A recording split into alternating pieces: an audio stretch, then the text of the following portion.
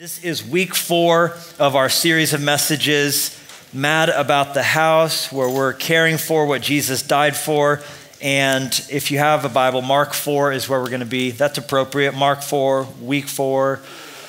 Title of my message is Choose Your Own Adventure. Choose Your Own Adventure. And let's read from Scripture. This is Mark 4. We're going to read two different parts of this chapter. It says, And again, he began to teach by the sea and a great multitude was gathered to him, so that he got into a boat and sat in it on the sea, and the whole multitude was on the land facing the sea. This geography is significant, and so he, Mark's making sure we understand the picture in our minds. Then he taught them many things by parables and said to them in his teaching, and now we're about to read is probably the most famous of the parables. It says, Listen, behold, a sower went out to sow. And it happened as he sowed that some seed fell by the wayside, and the birds of the air came and devoured it. Some fell on stony ground where it did not have much earth, and immediately it sprang up because it had no depth of earth. But when the sun was up, it was scorched, and because it had no root, it withered away. And some seed fell among thorns, and the thorns grew up and choked it, and it yielded no crop.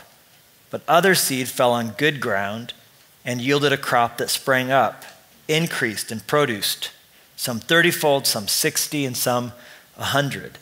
And he said to them, He who has ears to hear, let him hear. Now, a little bit later, the disciples got him alone and they said to him, What did you mean when you said that? And they were honest there. I guarantee you, when Jesus was teaching, they were all standing around trying to look really important, like, Yeah, you idiots, listen up. This is good stuff here, you know.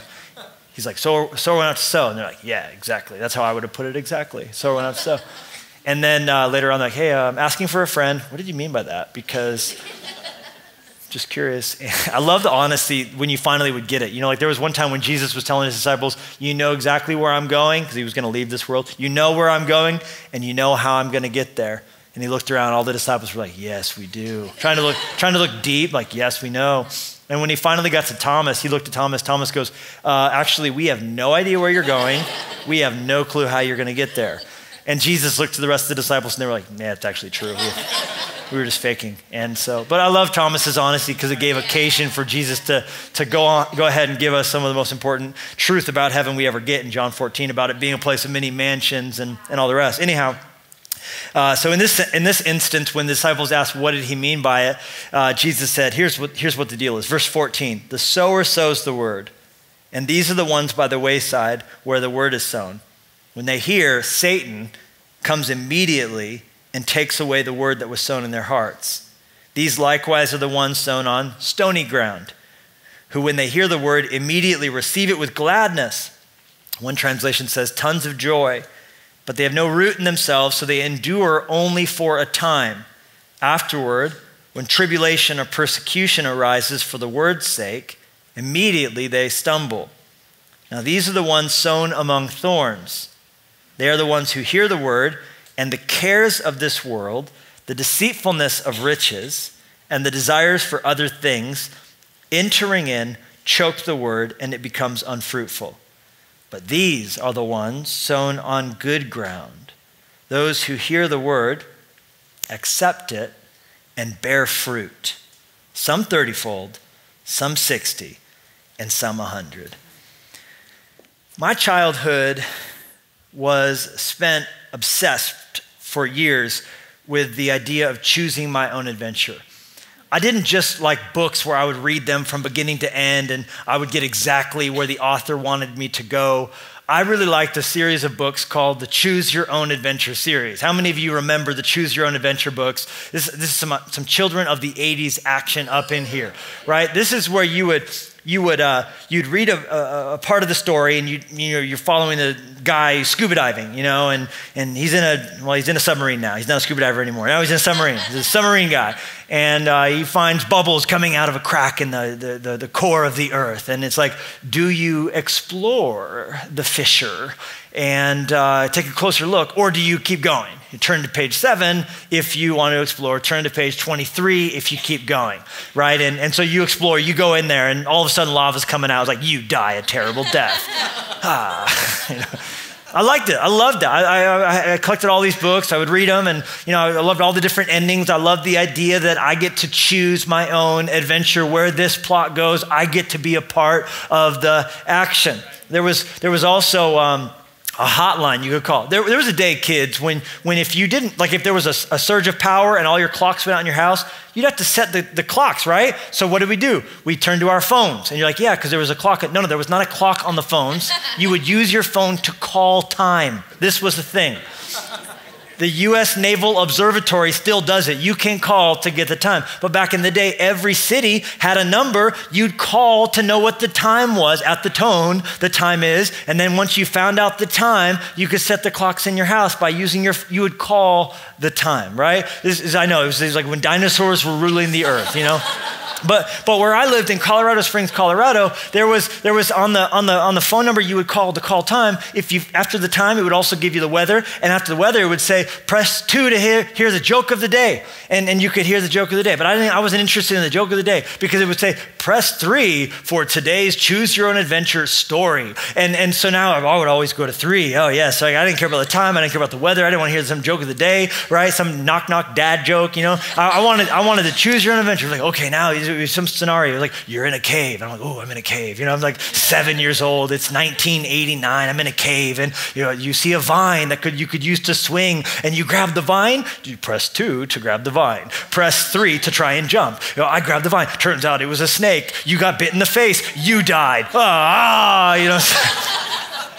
this is why I'm so messed up, you guys. This, this was my upbringing, but but I loved the idea of, of choosing my own adventure.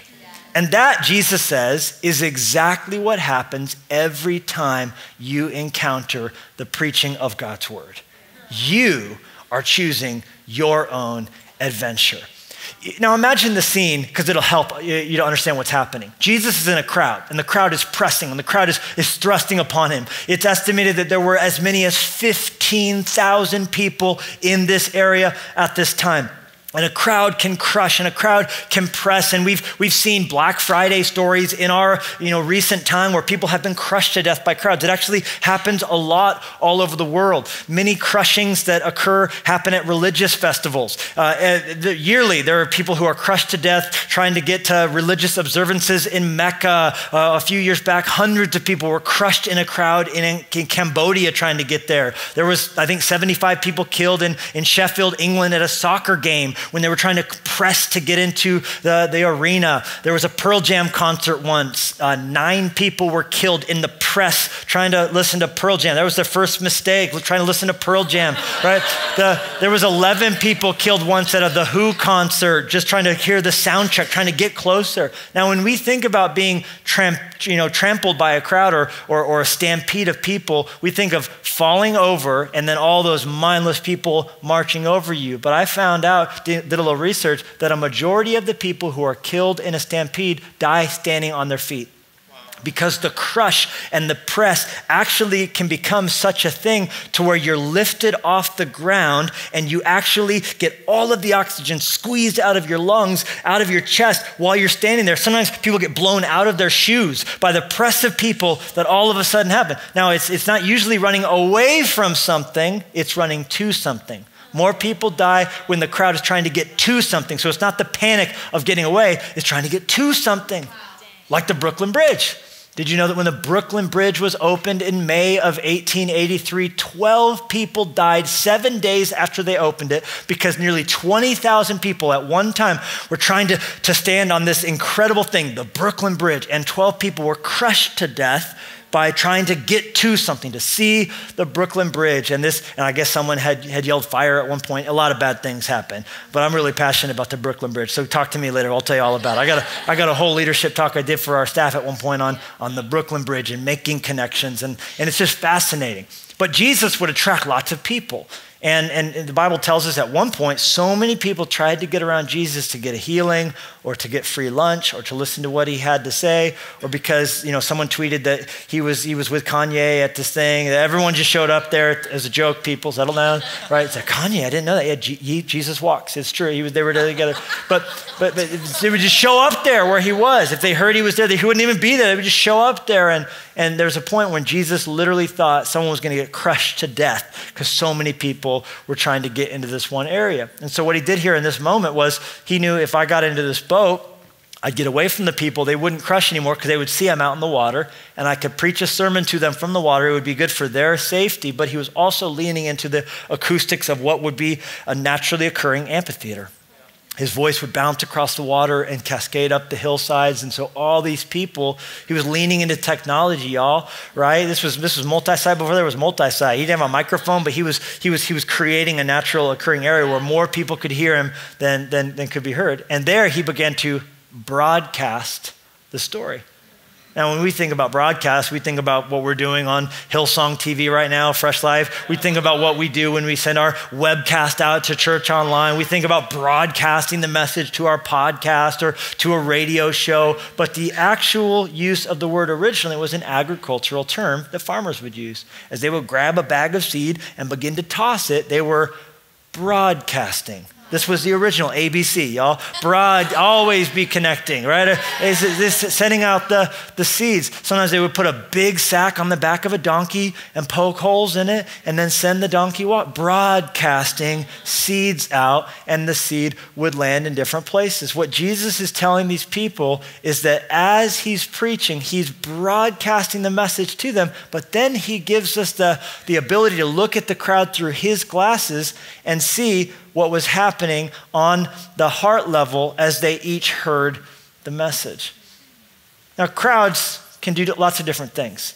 You know, you think about the power of a crowd. Of course, we talked a minute ago about some bad things, the dangers of a crowd, right? Losing your life to try and get a, a, deal on a Vizio does not seem like a good deal to me. But, but you think about how a crowd in our day can be sourced.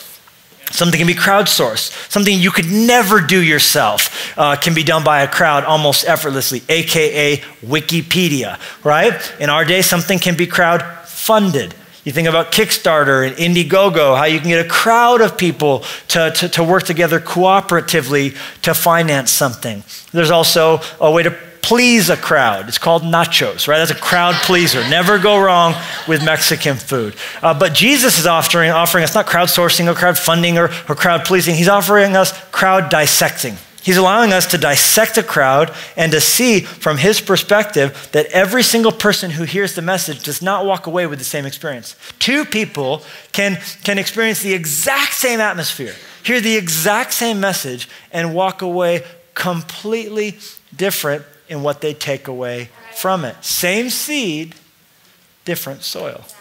And what I want to do is maybe challenge how you view coming to church. I want to challenge how you view listening to uh, a Bible study on, on YouTube. I want, I want to challenge maybe how much of it lies on, on, on the onus of responsibility lies on the part of the person on stage here we are now, entertain us. And how much of it lies actually on you to, to, to drive and determine what you get out of it, the adventure that you get to, to walk away uh, telling the story. But no, of course, I'm not saying it's not my job to faithfully preach the word of God and uh, to, to, to, do, do, do a good job of, of presenting to you the whole counsel of Scripture. Of course, that's the case. But when the same message, faithfully delivered from God's word, hits two different people, I'm telling you, it has everything to do with the heart condition of the person hearing the message. So, so it's not just on Louis Giglio to inspire us. It's not just on Carl Lentz to fire us up. It's not just on Andy Stanley to help us become better leaders or Beth Moore to help us see something in Galatians that we didn't see before. It's not just on Chad Veach to encourage us with the goodness of God. It's on you to have the heart that's good soil that can receive the seed with a mentality, listen to me, not just to know, but the mentality is to grow that I want to take what's deposited in my heart and do something with it. I don't want to just be a hearer of God's word, I want to be a doer. Every time you listen to scripture, you're taking a test. And the test is, what am I going to do with what I've been given?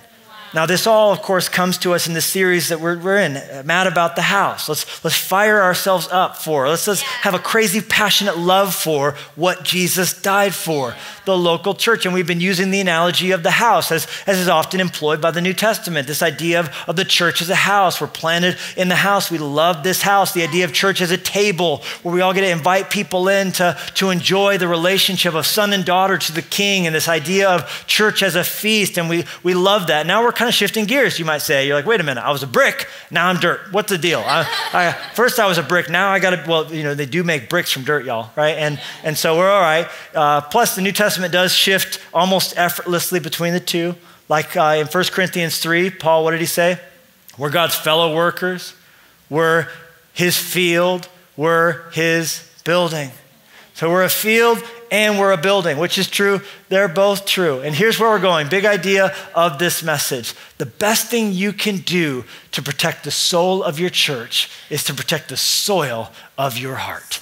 If you will protect the soil of your heart, you're protecting the soil of this house. And, and I believe that God wants us all to see as us all having a part to play in our hearts being good soil to receive God's word with a mentality of multiplication. I want to grow something beautiful in my life whenever God deposits something in my heart. It's not just the job of the preacher, whoever's preaching, any of our pastors, my wife or I, any of the guests in here, but that we're saying, I'm ready to receive, I'm ready to do something with it, I want to act, and I want to I want to live this out beautifully in the world. It's no good for us to come in here and have a good Sunday if we leave, live ugly Mondays. I mean, we need to we need to live beautifully out there in the world and do our part to live it out.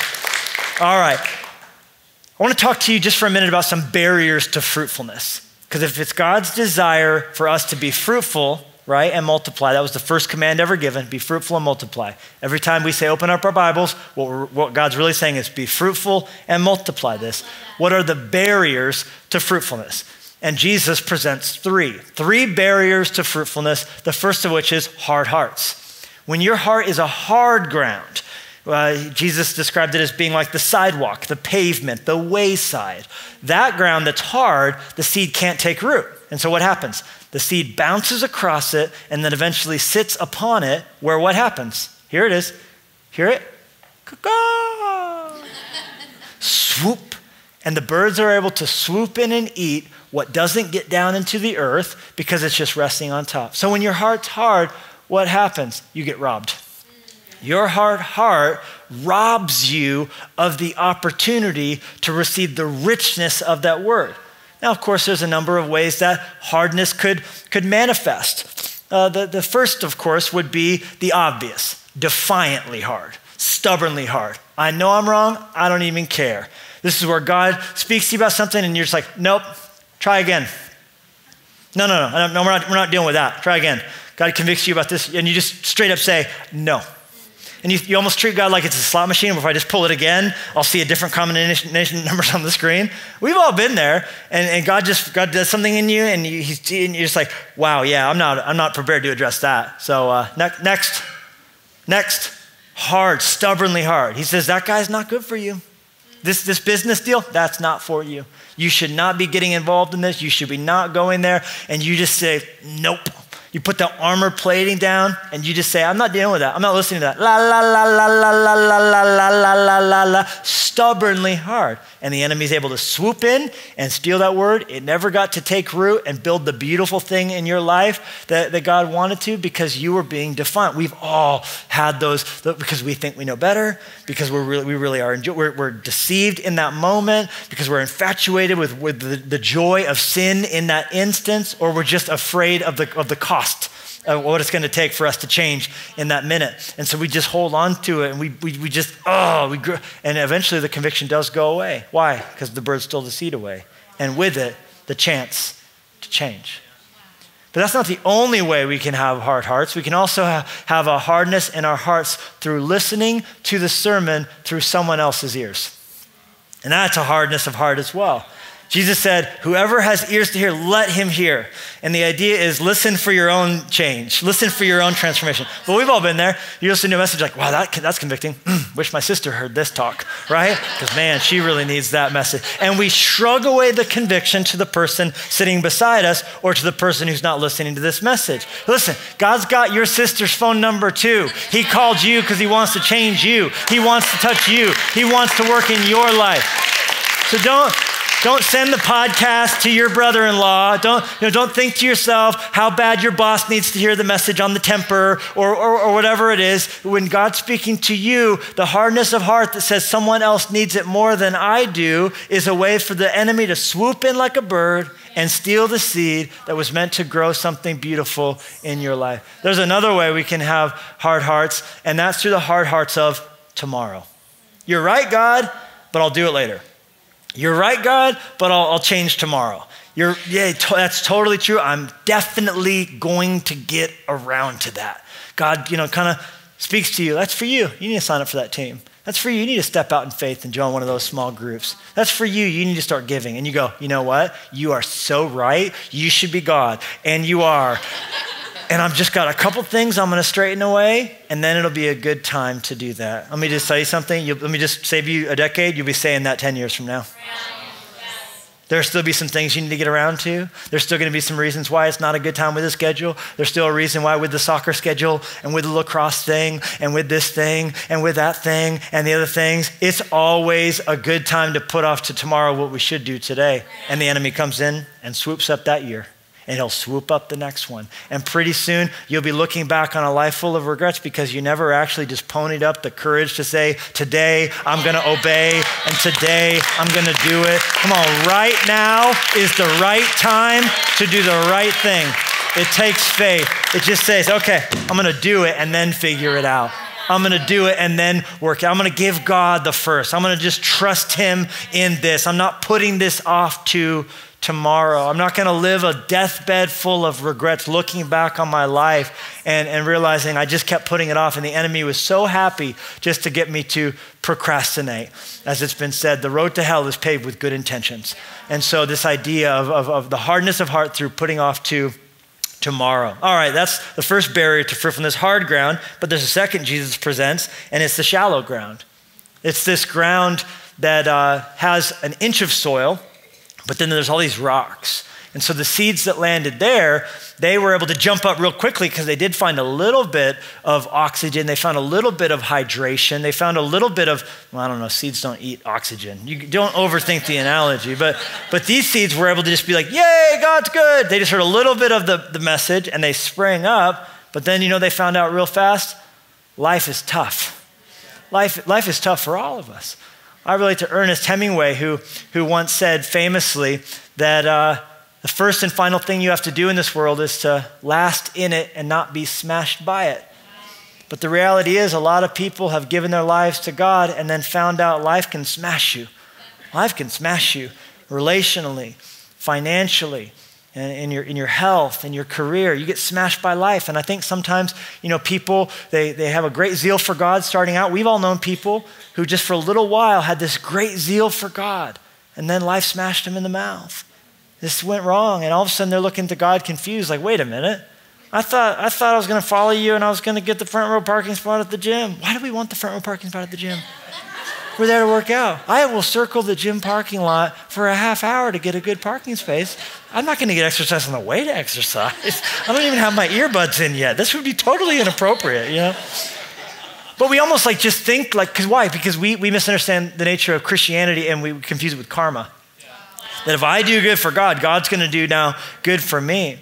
When I first got saved, someone told me something that's always stuck with me. They said, Imagine you were sitting on an airplane and the flight attendant was coming by and, and she was saying, Hey, would you like peanuts? Would you like Coke? Would you like, and, and then let's say halfway through that little speech she gives, she said, Would you like a parachute? And you're like, Wait, peanuts, Coke, parachute? Why do I want a parachute? Oh, everyone on the flight's wearing them. And you look up and there's, sure, enough, half a half dozen people in front of you have parachutes on. One guy's really well dressed and you're like, Yeah, I'll take a parachute. She goes, Oh, it'll make your flight much more enjoyable. You're like, oh, that's great. You strap it on. And you're like, okay, now I got my little Coke and I got my little like three peanuts and my parachute. And eventually you're to just like start shifting in your seat because they give us so much room. And, and, and, and you're gonna, man, this is really bulky and uncomfortable. And so you're gonna recline, and that's not gonna help much. And, um, because you chose to, to fly the Greyhound of the skies, Allegiant. And so now you're, you're, you, you're, you're eventually going to realize this is not helping me out at all. And you're going to throw it off to the ground and you're going to, you're going to, you're going to laugh at yourself for ever being so foolish to take something on that did nothing for the quality of the flight. But, but then I, I, was told this, I was a freshman in high school when I heard this originally. They said, imagine if it was different. Imagine if, as the flight attendant came by, she said, You know, hey, we have peanuts, we have Coke, we want you to have an enjoyable flight. We also have parachutes if you'd like one. And you, you said, Why would I want a parachute? And she said, Well, we estimate somewhere during the flight the plane's going to go down. We're not exactly sure but it's going to. We don't have enough fuel to get where we're supposed to go, so um, it's going to crash. And, and when the plane ditches, it'll be really convenient if you have a parachute on. We're all wearing them, and I would recommend you wear one as well.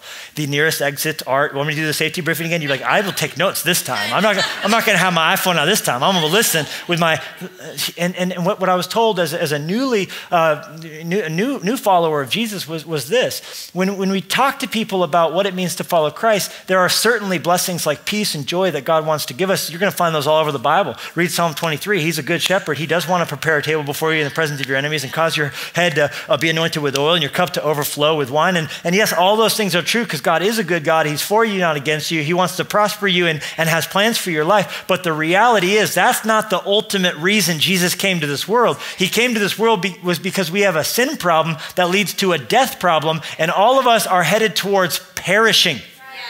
God so loved the world that he gave his only begotten Son so that whoever believes in him would not perish. Belief on one side, perishing on the other. The parachute is for the perishing. The reason for the Jesus thing in our lives is because we're dead on the inside, headed to hell, and Jesus came to fix that problem. This plane of this life is going down. It's not if, it's when. We're all going to die and stand before Him. That's why Jesus died on your behalf on the cross. And so when we ask Jesus to come into our life, it's to fix a deadness problem, not just to enhance the flight and make life a little more enjoyable. And so when we take Christ into our life, we're actually taking in something that's going to make our life more complex complex, not less. He said, The world hates me, it's going to hate you. So if we don't properly equip people to understand there's going to be pain in this life, there's going to be suffering in this life, and God is a healer and can heal you, but ultimately you are going to die, and He came to solve the biggest problem of your life, and that is the moment that you stand before Him that you're covered in the righteousness of Jesus. And that makes sense then when life is hard and difficult. We're not just going to shrug off this Christianity thing because we popped up in an inch of soil, but we hit that bedrock. We want our roots going deep down into that living water of joy and true relationship with God and understanding those things. So we don't want to be shallow because then we'll easily become disillusioned. Disillusioned. I thought you were going to bless me. I thought you were going to help me. And I think that oftentimes is the story of people who we knew that followed Jesus at one point, but they grew disillusioned. Oh, that God thing wasn't for me, didn't seem to help me, didn't do much for me because they came to God as blesser, not as savior. They came to God as sugar daddy and not king. And the honest admission of someone who's saying, "Nah, I, I trusted God, but he, he, he, didn't, he, didn't, he didn't answer when I prayed. Not when my mom was dying in the hospital. Not when I was standing in that emergency room with my daughter. I, I prayed. He didn't, he didn't help me then. So, you know what? He can keep his salvation for himself. What we're saying is, honestly, and I'm trying to be tender here, because I know this represents a lot of hurt, is that we're saying, God, I want you to be a part of my kingdom, not I'm willing to be a part of yours.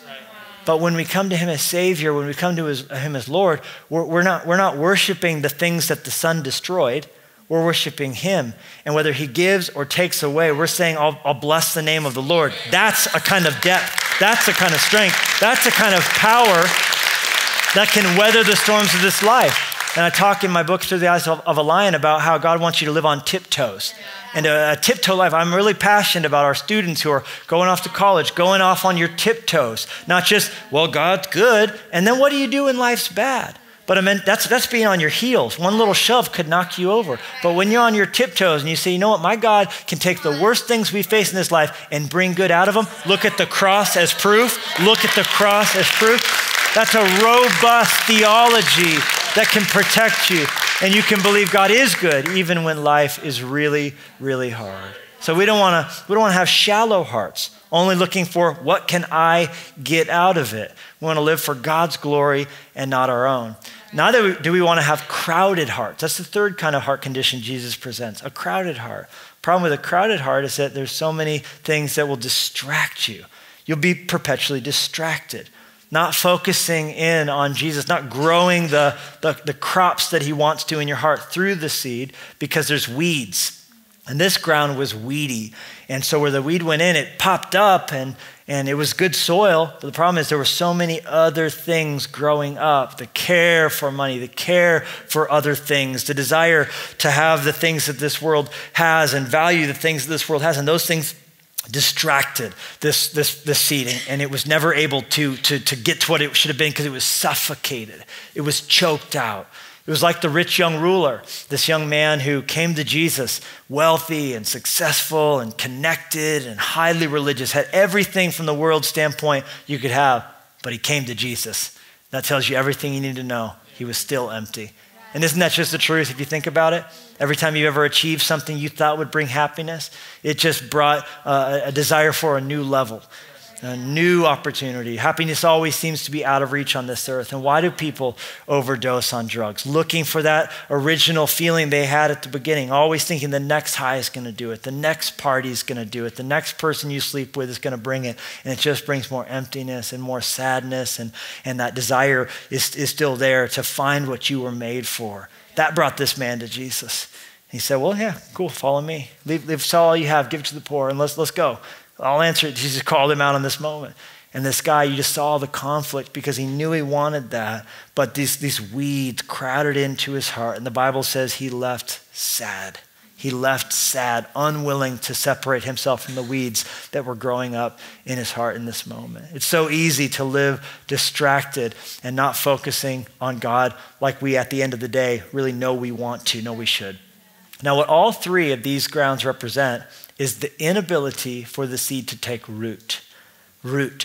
Neither the seed on the hard ground or the seed on the, on, the, on the birdie path or the seed that was there full of weeds was able to get the roots down like it should have. And that's the strength. That's the position we want to. Really, the heartbeat of this Mad About the House series is that we put roots down and we wouldn't be so transient. And, we, and I hope you'll come back next week. We're going to talk about what happens when our dreams are shattered.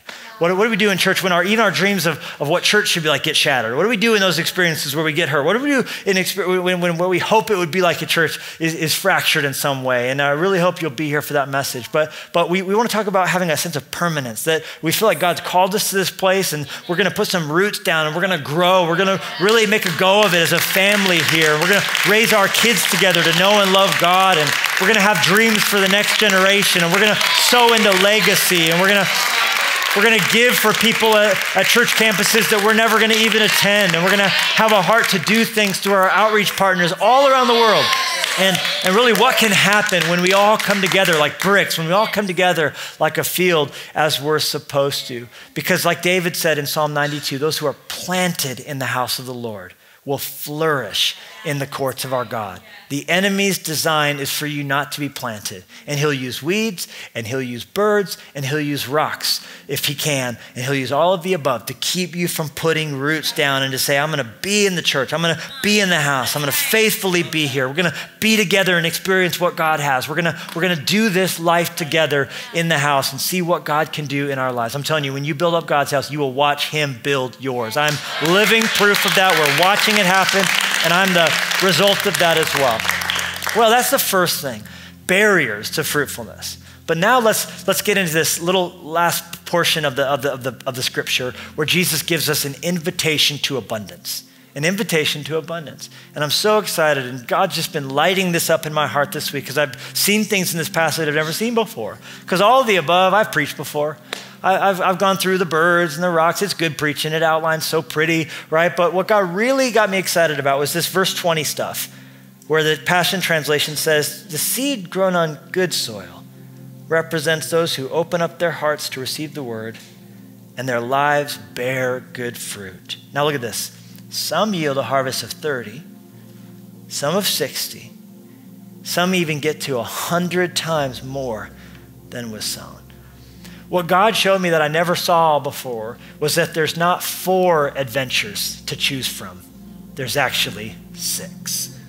It's not just birdy, weedy, rocky, or good. It's birdy, weedy, rocky, or 30, 60, 100.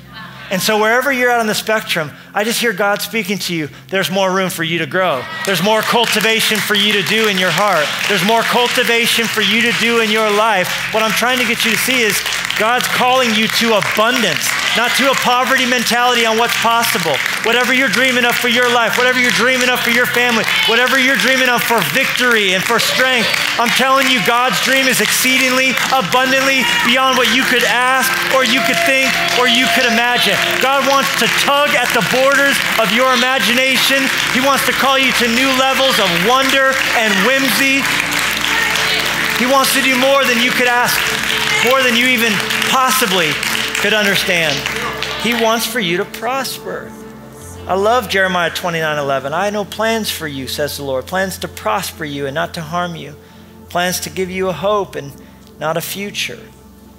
3 John 2 says, Beloved, I pray you would prosper in all things. Someone say, all things. All things. And be in health, just as your soul prospers.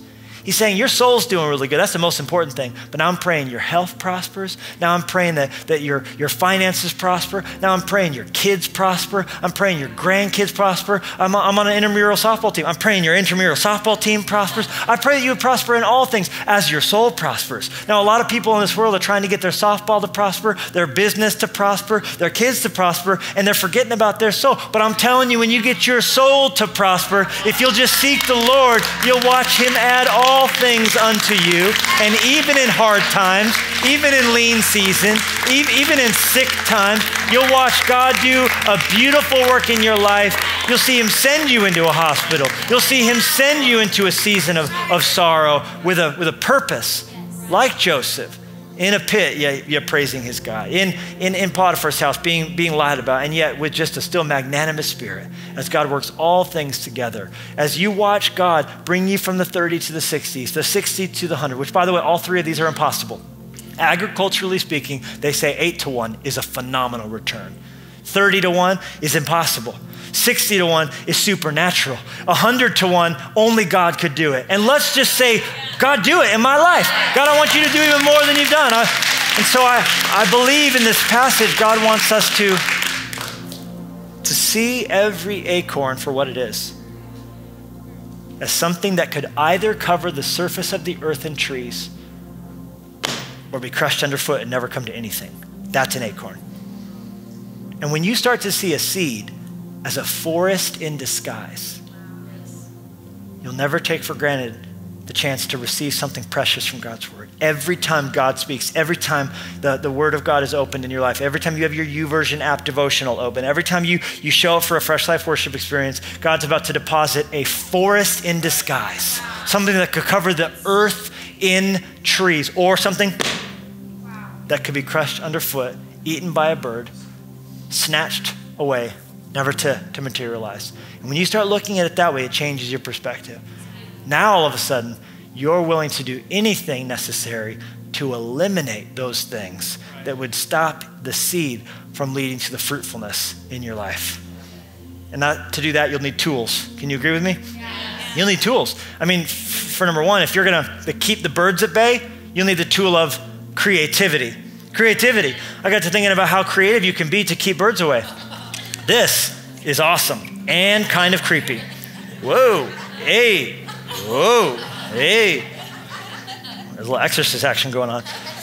You could put an owl in your garden, and the, the bird that, the, that comes in will see this thing and think it's going to eat its head off, and so it'll stay away because the wind will work. it's awesome.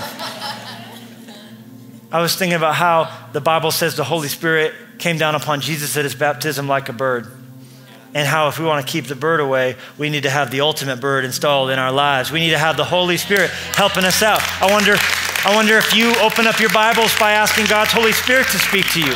When you show up at church, what if as you walked in, you weren't saying, I hope it's good, I'm ready to give it a B plus, or, you know, oh, I got four goosebumps last week, I only got two this week. Or if you say, Holy Spirit, speak to my heart, change my life, change my situation. I'm praying for the person around me. During the invitation, you're not closing your Bible up, getting ready to go, thinking about where you're going to eat. You're begging for God to touch that one person at the Deer Lodge campus who doesn't know Jesus, who walked in here empty, who walked in here broken. You're praying, God, touch a teenager who's thinking about taking their life. You're saying, that young girl who's anorexic, who, who doesn't understand her beauty comes from God, her identity comes. You're, you're saying, Holy Spirit, you, you've installed the Holy Spirit to be vigilantly watching over your heart. But you can be even more creative than that because you can now you can install these in your life. I, I, had, a, I, had, I had a low moment this week, church. I had I got into a really big war with a robin, and um, I don't know, man. This thing was a demon possessed Hugh Hefner like robin. He built seven nests under my porch. Seven, the same. route. I watched him build seven nests I don't know what swanky soiree he had planned. I wanted no part of it. I, am telling you, I, am only interested in monogamous birds, right? Seven nests. I watched him. He's like, yeah, it's to be growing down. I'm like, bro, you need to read Swipe Right is what you need. You need a revival up in your bird's nest. There's no eggs. I checked, so I got rid of all these nests. He, uh, at night, seven o'clock at night. Next morning, they were all rebuilt. I'm like, this is scary, right? So I, I, I, someone said you should get a pellet gun and I did. And but I couldn't bring myself to shoot him, so I would just scare him and he'd fly away. And and and and then and then I I did bring I got brought to a low place and I did shoot him. And and but it didn't kill him, it just dinged him and he looked at me, but then he just came back to finally and stared at me like, you have to sleep sometime. And I was like, oh no, you didn't. And, and then I'm, this is a true story. It's raining. I'm standing there in the rain with this gun, the bird standing in the middle of the street, holding a mouthful of, of, of, of leaves. And and so I got me some of these spiky things and I installed them all over the place. And guess what? I don't have to keep the nest from being built because now he can't even land. And I just wonder in your life, what are you doing that's making your heart so hospitable to the birds? I mean, tell me what kind of negativity and grumbling and criticism is there that just attracts the enemy and attracts that darkness? What are you watching? What are you reading? Who are you spending time with? It's making it easy for the birds to land. Don't you need to install some spiky things that you never have to fight away a bird that can't? Can't land in the first place. Creativity will help keep the birds away. Well, what about this, uh, this rocky ground that you need to get the rocks out? Well, to do that, you need to go deep. For the plants to go deep, there needs to be no rocks. Well, let me tell you something. To go deep, it takes effort. It takes effort to go deep. I've dug a trench right? You're listening now. You're like, oh, he's got a pickaxe, right? yeah, I do. I, I, should always preach for this, just casually resting on my shoulder. Every one of you just sat up straight. Um, the work that it takes to dig. I was in Juarez on a mission trip once, and our job was to clear a whole trench full out of rocks. I'm telling you, I've never, I've never experienced such backbreaking work. It takes effort if you want to get rocks out. So I'm telling you, there are rocky places in your heart, there are rocky places in my heart.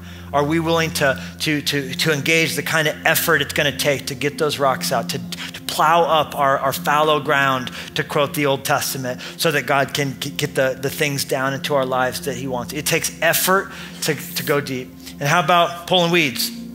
Well, pulling weeds, there's no easy way to say this. It just takes good old fashioned persistence if you want to pull weeds and the weeds in your heart and the weeds in my life, these other things that strangle up our passion for God, these things that at times are good things that cause us uh, to miss out on the best things because we just in a, in a season of our lives aren't, aren't mowing our lawn. I hope Chris mowed his lawn after, after hearing that, that appeal. But, but you think about this here's the thing it's impossible to pull weeds standing up.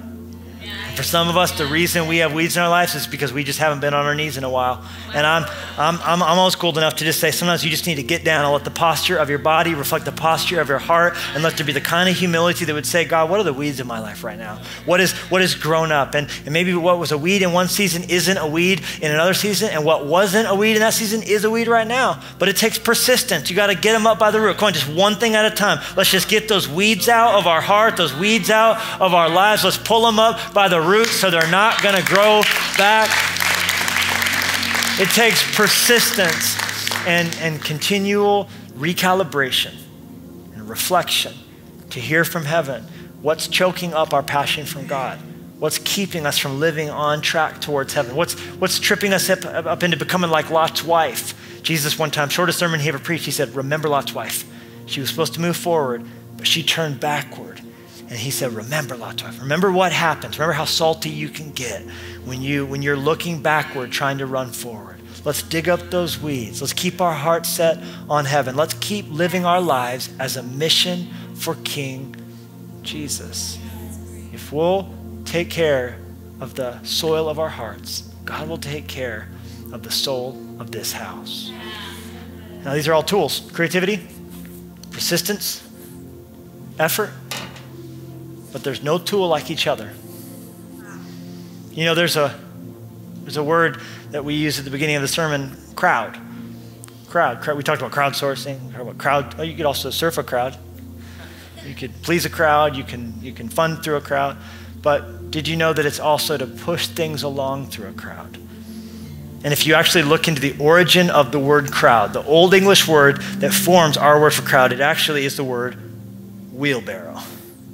And you think about a wheelbarrow. A wheelbarrow is a great thing because you can pack up so many different things into a wheelbarrow. I get my Bible, I'll get all my spiky things, and get my phone in there, handkerchief in there, get my Bible in there. And here's the cool thing about a wheelbarrow with a wheelbarrow, you can push some things along. A wheelbarrow pushes things along. That's the word crowd. Because a crowd literally is something that pushes you along. Now, let me tell you this the crowd that you do life with is pushing you along somewhere. It's going to sweep you off your feet somewhere. And we can either towards good or towards evil be pushed along in life. God intends for us to be a people coming together to push each other along towards righteousness, to spur each other up towards good works. And that's God's heart for the house.